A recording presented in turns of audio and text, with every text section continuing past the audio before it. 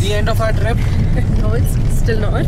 Uh, No, today we are starting. We are now trying to get back to Delhi. So we are starting from Tso Moriri to Jispa is- today, and it had uh, snowed heavily yesterday night. It had rained a lot, and all the mountains which were bare yesterday are all covered with snow. And Just look at just look around, पापा मेरी बारी भी and uh, it still continues. And you can see here, मेरी Very light snow, but it's still snow is still continuing, and hopefully it might snow uh, heavily today again here.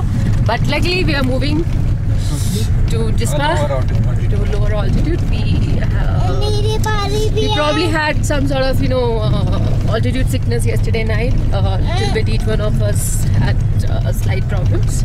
We were at 4400 meters. We were at 4400 meters. Today we are planning to go down to 3100, 30. which is going to be a big help. Right. So uh, let's see. Take care. Bye bye. Yes, yes. Say hi. Hi. And snow.